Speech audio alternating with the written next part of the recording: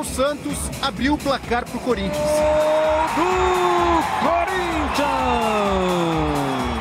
O Maicon ampliou com um golaço de fora da área.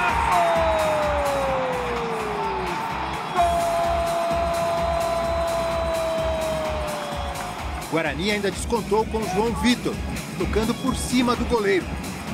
Corinthians classificado para as oitavas de final. Já hoje à noite para os Estados Unidos, onde vai disputar o torneio da Flórida. Então vamos direto para a redação do Globo Esporte conversar com Marco Aurélio Souza. Eu tenho uma pergunta fácil para você, Marco Aurélio. Se já saiu a lista né, dos jogadores que vão para os Estados Unidos e se o Pato vai ou não vai para os Estados Unidos? Boa tarde para você. Boa tarde, Abel. Realmente essa sua pergunta é muito fácil, mas infelizmente ainda não posso responder. Pelo seguinte: Corinthians treina hoje à tarde. E a lista, essa lista dos jogadores que vão para o torneio da Flórida, ela só sai depois desse treinamento de hoje à tarde e o Corinthians viaja à noite.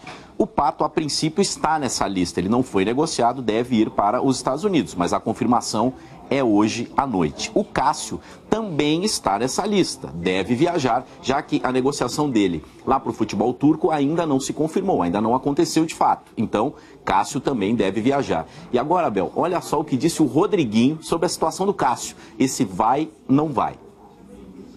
Olha, até engraçado, né? Que eles saíram do vestiário ali agora, ele falou assim, ó, ninguém me pergunta mais quando eu vou embora, tá? deixa quieto. Se eu não aparecer mais é porque eu fui embora. Então, é bem por aí.